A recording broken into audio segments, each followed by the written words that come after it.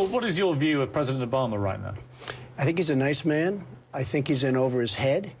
It's amazing the way he got the job. I respect him for getting the job, but it's amazing the way he got the job. He signed up people on street corners in Chicago. All of a sudden, he's the president of the United States. I mean, he got a hell of a shellacking, as he put it, in the midterms. But his ratings right now, mid 50s, are significantly higher than Ronald Reagan and, and President Clinton at the same time of their administration. So he's doing pretty well, actually. Well, the fact is he is doing well, and the Republicans have let him back into the game because during the lame duck session, I don't know what happened with the Republicans. I don't know who was leading them, but they totally gave him credibility. He was Jimmy Carter, and now he's the Phoenix. But is this but a problem? Who, who is leading the Republicans, and who should be? I don't think there is a leader right now of the candidates. Romney, I guess, would be somebody that people are thinking about, but it's not resonating. Uh, Sarah Palin is somebody that I happen to like. I just don't think she can win the election, and a lot of people agree. She might, she can win the primary perhaps, but she can't, she can't win the election. I, if, I can tell you, Obama is dying to run against Sarah Palin, and you can't do that again as a Republican party. You can't put somebody like in Delaware, mm. Christine O'Donnell, where she goes in and she beats somebody that would have won by 15 points. She beats him in the primary, and then she gets killed in the election. Is this is this precisely why you're so tempted to run? Well, I am tempted to run, but I think the primary reason I'm tempted, I guess, yes, I think I could win. Otherwise, I wouldn't do it. I'm not doing it to come in fourth place and really do a great job as a businessman. You know, in theory, I shouldn't be able to win because they've always said somebody with great accomplishment, somebody who's done many, many deals. I've done hundreds and hundreds of deals, and I've beaten a lot of people. I mean, I'm not saying it bragging. I beat a lot of people. And those guys are not nice guys and I have lots of enemies and lots of different things. And I've always heard where people like me cannot win because there's too many enemies. But whether it's me or somebody else, you need a person like me to run this country for a while because we have to get this country back so that we're respected again. We have to get this country back so that this country is making the big profits, not China, not India. I mean, American Express, you call up your American Express card, the people are based in India that answer the phone. What's going on? Our people can't do, our people can't answer a phone? So we have all of this outsourcing to countries all over the world. In the meantime, we have... But isn't, isn't, I mean, Don, we have really an 18% unemployment, not 9%. I, I we get, have an 18% I get what you're saying, but aren't you being, unusually for you, quite defensive about this? I mean, isn't there a way of looking at this? Defensive? Yeah. but I, I know you're being aggressive, but it's kind of passive aggression, because actually isn't the hmm. way to deal with this the way that you would if it was your company? You go on the attack. Well, I would do that, You yes. wouldn't, you wouldn't sit there going, well, this is all unfair. You go, you know something? Right, shirt right. sleeves up, let's go right. get them. No, you're right, but I and when we come back after the break, I want to know how you, shirt sleeves rolled up, will get America back on its feet. Okay. Back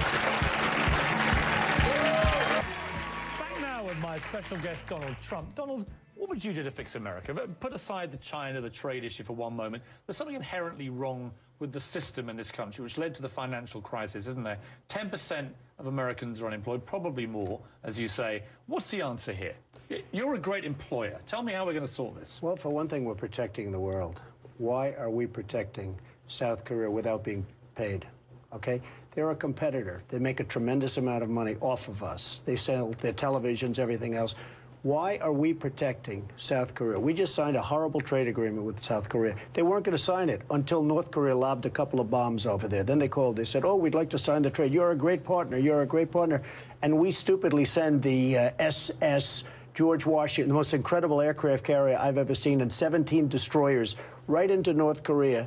Why aren't they paying us? I mean, why are we protecting them? They make hundreds of billions of dollars of profits against the United States. You know, one of the great ones, 52 million. I don't know how many of the folks in the audience see this, but a few months ago, 52 million in cash in a briefcase was sent to Afghanistan. You know that. It ended up in Dubai, 52 million. Now, you know, the 52 million was actually 100 million probably but you know somebody stole it along the way, whether it's a soldier. I want to know who is the colonel or the general or whoever it is that approved 52 million in cash. It, it definitely wasn't 52. I guarantee it was if you, if you were president, would you take all American troops out of Afghanistan and Iraq now? Well, Straight Iraq, away? we shouldn't have been there, and I get them out real fast. Afghanistan is not the bigger problem. The bigger problem is Pakistan. Mm. You have to know, you know, when you fight a battle, you have to know who to fight. Mm.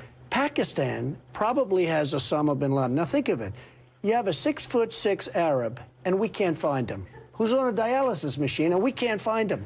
You, you tell me this with all our so-called intelligence and everything else. Guy's six foot six. Pretty unusual, right?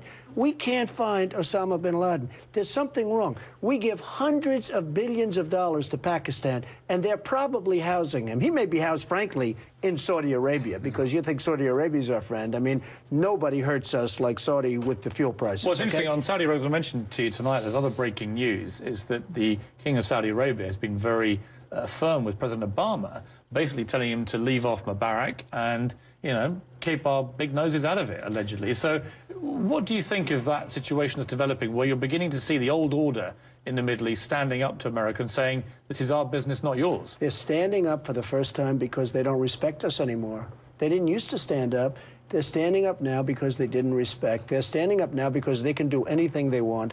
You have to go over there and see some of the airports that they're building. They make no, Kennedy Airport look like it's third world country. They make LaGuardia. I land at LaGuardia and then I go into Abu Dhabi and I go into Qatar. Mm. I go into these oh, airports. Oh, it's like the most incredible things you've ever seen. We're like a third world country. And they wouldn't be there. Look at Kuwait. Saddam Hussein attacks Kuwait. We then go in, get him out. We lose lives. We spend hundreds of billions of dollars. We put out Red Adair. We put out hmm. all the oil well fires, and he said all the oil wells. We hand them back the country. Now they don't invest in the United States because you know why? They say the return on investment's not good enough. We're not going to invest but in the Maybe they have a point. And also, here's the other point. They companies do? like General Motors, companies like Coca-Cola right. are all investing heavily in places like China, and they're doing very well at it. Isn't the answer to go where the business enemy is and take them on at their own game and make money out of them. Isn't that what great. you would do instinctively? I think it's great. But if you look at what happened to General Electric, what happened to them with technology, where they had to give up all their technology to China, where they have to build plants in China, where they have to do all of these things. Hey, I like the Chinese. I'm fine with the Chinese. And if I were them, I'd be doing the same thing if I could get away with it.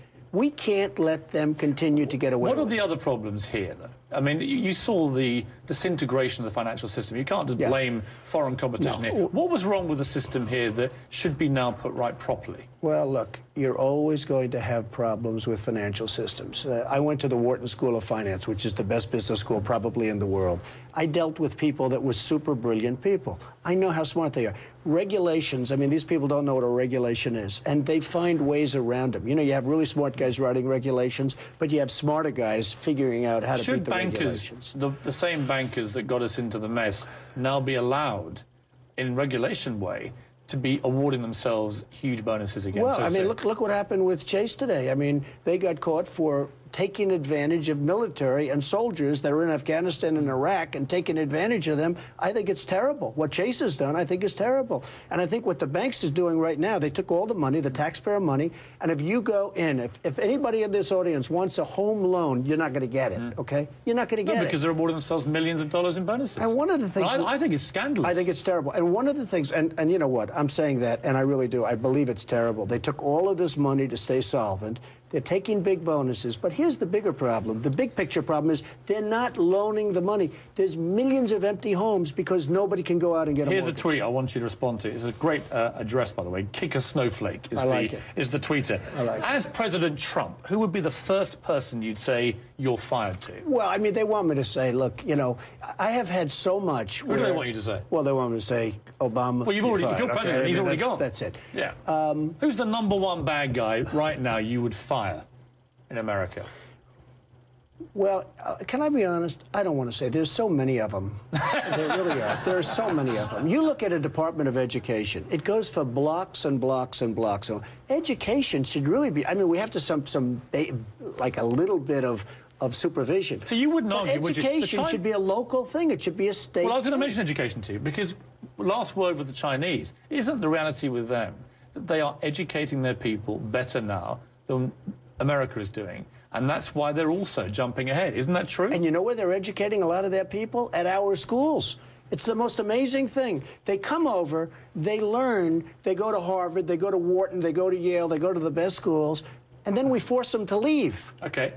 When no, we no, we back, force them to leave. No, I know that. Okay. When we come back, I'm going to ask you, as a man who wins and knows how to pick a winner, which is where I come in, how are we going to win? Okay. Of course, my triumphant moment winning season one of NBC Celebrity Apprentice. Uh, Donald, I mean, it was quite terrifying and arduous and all that kind of thing. But at the end, I realised why you're such a winner because you picked the right guy. Well, I, I, know that you're being cute, but the fact is I did pick the right guy. And Trace was fantastic, and many other people in that group were fantastic. And frankly, uh, Trace Atkins is the number one country singer right now. And when he went on the show, I was complaining, who the hell ever heard of him? Nobody heard of him. You know that. Yeah, yeah. So Trace is not complaining either. What does it take in general? In I read, I read your books before I competed in your show to try and get inside your, your brain.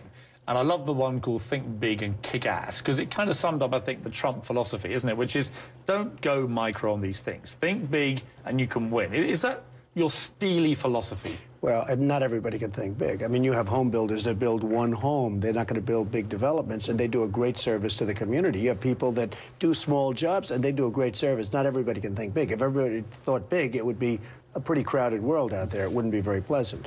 But I think that you should, within reason, think as big as you can. And, you know, it was very, very interesting with that book. That book did very well. My books all go to number one or do really well as bestsellers. But I have to tell you, that book, because of the kick ass, mm. didn't do quite as well because a lot of parents, it was around Christmas time, and a lot of parents couldn't buy it for their child because they didn't like the title. it's really true. I said, why isn't that book selling like everything else? but they really had a problem, you know, giving a seven-year-old kid a book with that title. Here's a really interesting aspect to your character. You've never had a drop of alcohol in your life, have you? That's right. Never. I mean, I, I, found that amazing when I, I discovered that fact well, about you. for me, it was very easy. I mean, You've I never have... touched a drug? No, I've never had drugs. You've never smoked cigarettes? I've never had cigarettes. And you don't even drink coffee, do you? I, and I don't drink coffee. I mean, it's amazing. Well, I, yeah, and I have other problems, I guess. But well, we're going to come to the women in, a, in a moment. I, I, didn't necessarily. women are your vice, right? No, I just respect women. I find women very beautiful. I think women are great. I have a fantastic wife, Melania. Uh, I'm, just... I'm, I'm, going to come back to the women because I want to focus more on this on this discipline and where you get it from. You told me once a very interesting story about you had an older brother who was an alcoholic and he died of alcoholism, and he told you before he died, don't drink and don't smoke? Well, I had an older brother named Fred, who was a great guy, a handsome guy, the most handsome guy that you've ever seen. He had everything going, but he, and he loved flying airplanes, and he actually was a pilot. He was a professional pilot. And somewhere along the line, I think it was in college, he started drinking, and he got worse and worse. And he also smoked a lot. And he would tell me, and he was quite a bit older than me, about 10 years older, he'd say, don't ever smoke, don't ever drink. Don't ever smoke, don't ever drink. And I say that to my kids now. No drinking, no drugs, no alcohol. I also say, and no tattoos, because I think tattoos are horrible. I see this tattoo phrase that's going on. And do they all, I think follow, it's horrible. do they all follow your lead as you did? I think, well, so far my kids have been following my lead, but